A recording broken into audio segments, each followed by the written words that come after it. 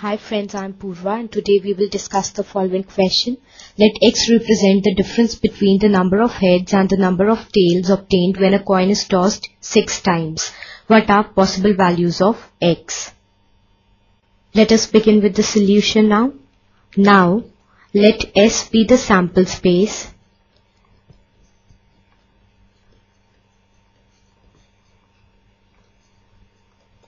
of the experiment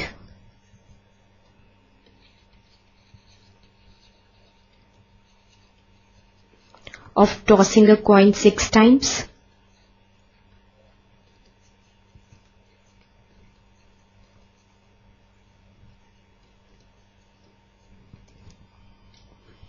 Then S is a set which consists of the following outcomes. That is when we toss a coin six times, then all six times we get head. That is we get six heads and zero tails. The second outcome could be 5 heads and 1 tail.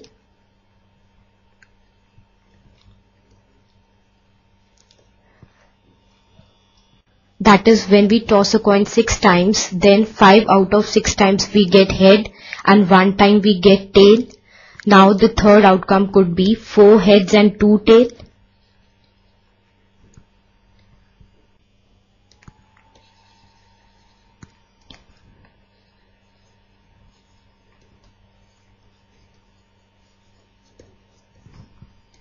That is 4 out of 6 times we get heads and 2 times we get tail. Now the next outcome could be 3 heads and 3 tail.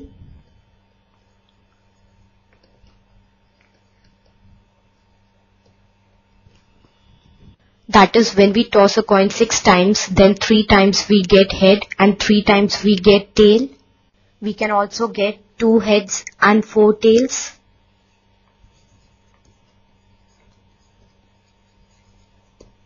That is 2 out of 6 times we get head and 4 times we get tail.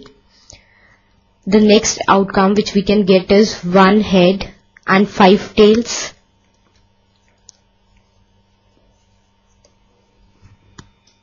That is when we toss a coin 6 times then only 1 time we get head and 5 times we get tail.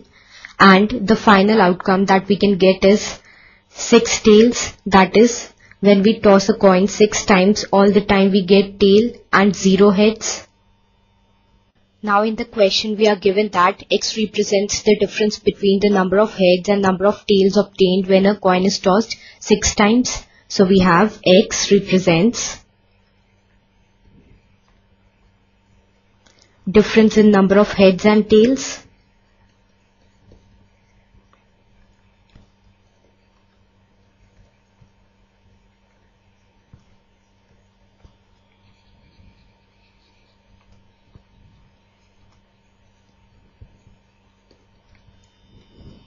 Now for each case above,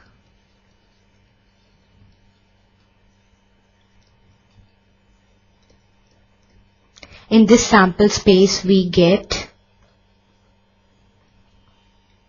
Now for this first outcome that is 6 heads we get x is equal to 6 minus 0 as x represents difference in number of heads and tails and here we have 6 heads and 0 tail. So we get x is equal to 6 minus 0 which is equal to 6. The second outcome is 5 heads and 1 tail. So we get x is equal to 5 minus 1 which is equal to 4. The third outcome is 4 heads and 2 tails. So we get x is equal to 4 minus 2. And we get this is equal to 2. The next outcome is 3 heads and 3 tails. So we get x is equal to 3 minus 3 and we get this is equal to 0. The next outcome is 2 heads and 4 tails. So we get x is equal to 4 minus 2 which is equal to 2. Now the next outcome is 1 head and 5 tails. So we get x is equal to 5 minus 1 which is equal to 4 and the final outcome is 6 tails that is 6 tails and 0 head So we get x is equal to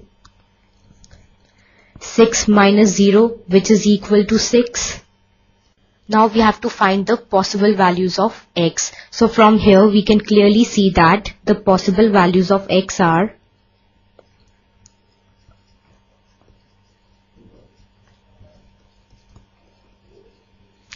Six, four, two, and 0. As x is equal to 2, x is equal to 4 and x is equal to 6 are being repeated so we write them only once.